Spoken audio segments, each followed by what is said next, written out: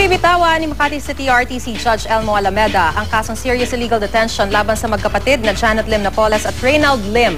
Wala raw sapat na batayan para siya ay mag-inhibit sa kaso. Hindi rin daw minadali ang pag-issue ng warrant of arrest laban sa magkapatid. Nanindigan siya na mananatiling patas bilang hukom.